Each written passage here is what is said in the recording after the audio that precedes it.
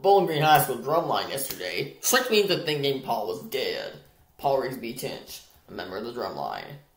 But he's not dead, as confirmed by Owen Shepard.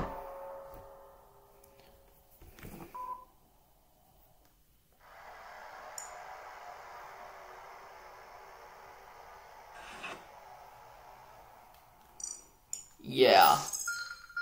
So.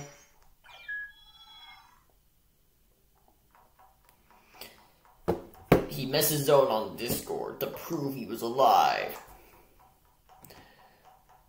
Very good. Ugh. What the?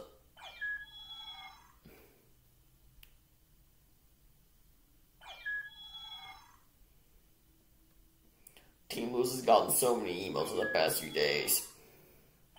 Right. Believe that's all.